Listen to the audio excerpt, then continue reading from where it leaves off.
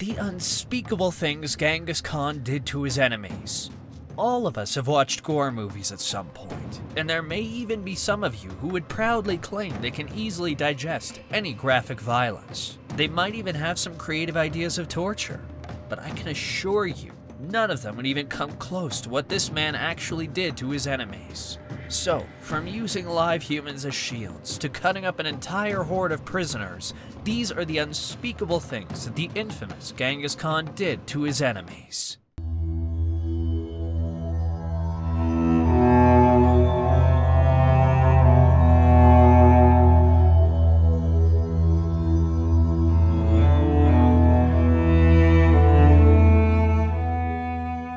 In the pages of history, there emerges a figure whose name strikes fear into the hearts of even the bravest soldiers. Genghis Khan was born in the 13th century, and it's safe to say that his rise to power cast a shadow of terror over the Eurasian continent. He hailed from a society where dominance was asserted through violence, and he himself was born in the crucible of brutality, emerging as a formidable leader from his humble beginnings. Khan and violence went hand in hand, but normal violence did not cut it for the Khan, especially when it came to certain people. Take, for instance, the Khwarezmian Empire, which faced the wrath of Khan in all its glory, seeing how one of Khan's most bone-chilling story of violence is his conquest of Termes.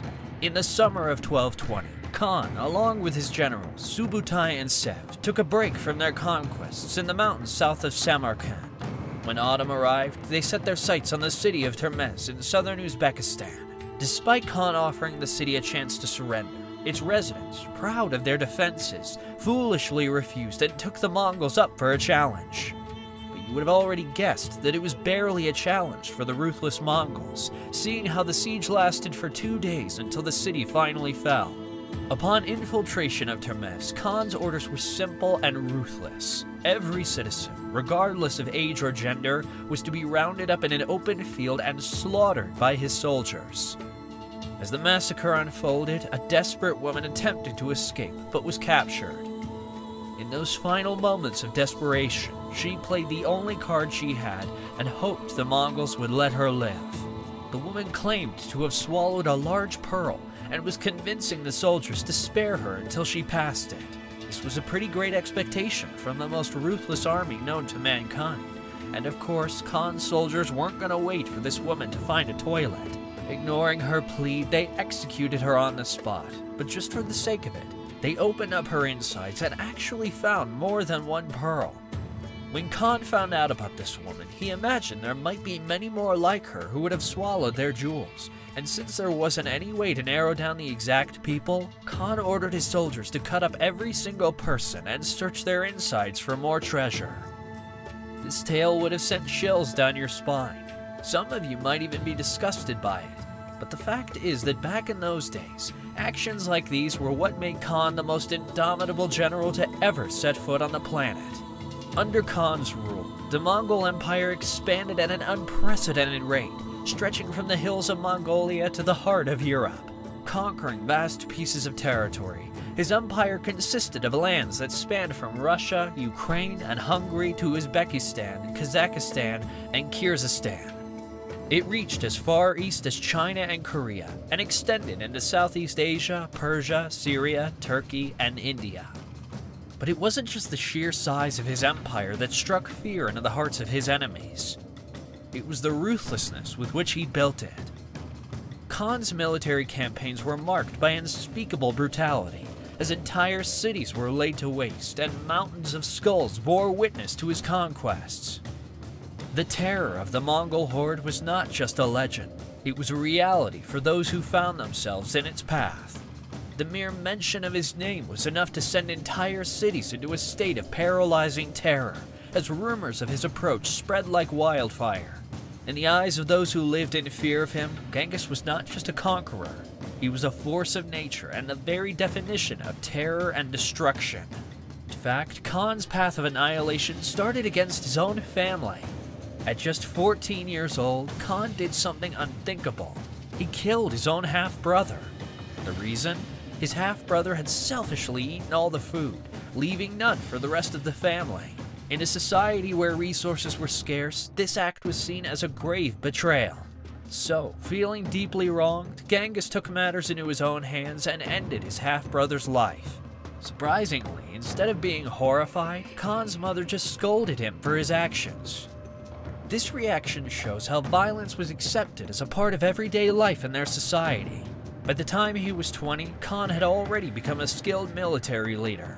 When the Tatars poisoned his father, he led his clan in a brutal retaliation, and the Tatars faced the full force of Khan's fury as he sought vengeance for his father's death. In the heat of battle, Khan's orders were clear and merciless.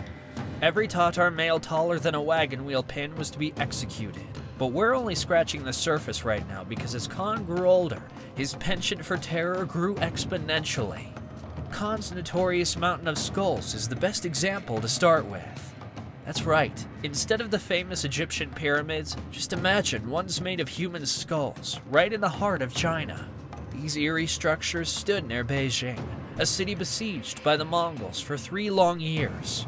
But looking at how things turned out in the end, I'd say the people of Beijing shouldn't have bothered to put up with Khan's cruelty for such a long time, because even inside the city, things were desperate. People were dying of starvation, to the point that they had to resort to cannibalism but even this extreme measure couldn't save them.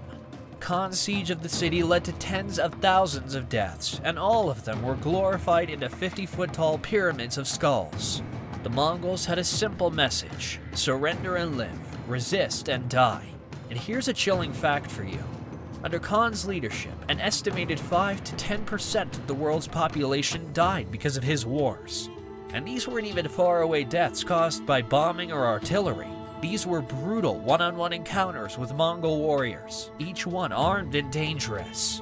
But these aren't just common innocent folks we're talking about. Khan had special methods of execution for people of importance, and all of them were designed to make sure no one would dare defy the Mongols again. One of his most gruesome techniques involved pouring molten metal into a person's body, often through their mouth or down their throat. This horrifying fate befell Inalkuk, the governor of Otrar, who had dared to attack Khan's empire. While some accounts suggest the silver was poured into his eyes and ears, the common practice of the time was to force it down the victim's throat. This heinous display of power served as a chilling warning to anyone who dared to oppose Khan's authority. Trampling was another brutal method employed by Khan and his forces. During the siege of Baghdad, after the city surrendered, Al-Mustasim, the Abbasid Caliph, met a grisly end he was wrapped in a rug and subjected to the merciless hooves of Mongol horses until he breathed his last. This has to be one of the worst ways of kicking the bucket. And I don't know about you, but just imagining it gives me goosebumps. And hey, if you got the creeps too, make sure to like the video, hit the subscribe button, and click the bell icon for more of the same. Moreover, the Mongols were known to be creative, especially when it came to setting examples out of live humans. They even managed to utilize the wheel as a tool of torture and death. Victims would be bound to the wheel, their limbs spread out, and then repeatedly struck until their bones shattered. Left to die slowly from their injuries, they faced a fate of excruciating pain and suffering.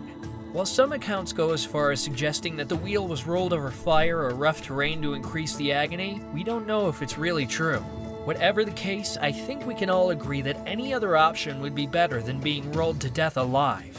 But in this case, the next best option was slavery under Khan, and you can guess that wasn't much better either. To ensure absolute loyalty and eliminate potential threats, Khan resorted to forced migrations and slavery as integral parts of his empire-building strategy. In wars where complete annihilation was not ordered, captured soldiers were often enslaved, while aristocrats and nobles were systematically eliminated to prevent future uprisings. Children captured in these campaigns were forced into Mongolian traditions and trained as soldiers from a young age. They were seen as less likely to hold grudges and were eventually brainwashed so much that they would forget their roots and live only to serve the Mongol army. However, not all captives were deemed suitable for military service. Some were relegated to hard labor or even used as cannon fodder in future conflicts due to their unreliability.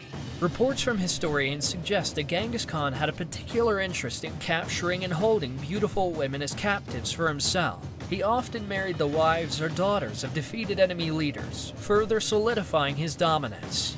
Skilled artisans and technicians from conquered cities were also enslaved to serve the Mongol Empire, forced to contribute to its growth and development under duress. Still, we'll have to agree that this doesn't sound so bad, especially when you hear the third option, which is truly terrifying. One of Khan's most brutal strategies was the use of human shields. Yes, actual live humans used to fend off arrows. After conquering an enemy's territory, the Mongols would gather survivors, including both soldiers and civilians, to serve as shields during the coming battles. These lambs for sacrifice would be marched at the very front of the Mongol army, shielding them from enemy arrows while approaching the enemy forces. The enemy, unaware that they were shooting at their own people, would rain down arrows on the approaching Mongol army. This not only reduced the effectiveness of the enemy's defense, but also caused confusion and hesitation among their ranks. Facing their own comrades, enemy soldiers would often hesitate to engage in combat, leading to a drop in morale and making them vulnerable to fierce Mongol attacks. And as brutal as that may sound, trust me, we're still not close to the peak of Mongol savagery. For that, we have to look at the Mongols' conquest of ancient Russia, where Khan's most trusted commanders, Sev and Subutai, were wreaking havoc all over the land. These generals were trained as Khan himself, and they conquered lands all over Central Asia before coming to Ukraine. They faced off against a strong alliance of Rus principalities, who were basically ancient Russians. At first, it seemed like the Rus were going to be victorious, as they seemed to be chasing the Mongols away, but that was all part of their plan. They lured the Rus into a trap at the Kalka River, but before they could wipe the tribe out, another nomadic group called the Cumans got there first. As expected, they were easily defeated by the Mongols, and next up in line for the slaughter were the Rus. Now there's some debate about the numbers, but it's clear the Rus had more troops, and this was the case in most of the Mongol conquests. Still, the Mongols were just better fighters, faster and smarter, to the point that one Mongol soldier was enough for multiple enemy soldiers. Of course, that meant bad news for the Rus, and while their common soldiers were killed off immediately, some Rus princes offered to retreat in exchange for safety. The Mongols agreed, but knowing their knack for setting examples, you'd have guessed by now that they were lying through their teeth. However, it wasn't as simple as a straight beheading because certain laws and traditions prevented them from spilling the blood of royals. So instead of shedding noble blood directly, they built a scaffold, placed the nobles on it, covered it up with wood, and literally set up a victory party on top of it. So while the Mongols celebrated their victory all night, drinking and trampling in the most barbaric way ever, the nobles were slowly crushed to death underneath their footsteps. That having their heads cut off seemed like heaven in those moments. And with this, we have reached the end of this video. If you don't want to miss more such videos that will send chills down your spine, make sure to hit the subscribe button and ring the bell icon.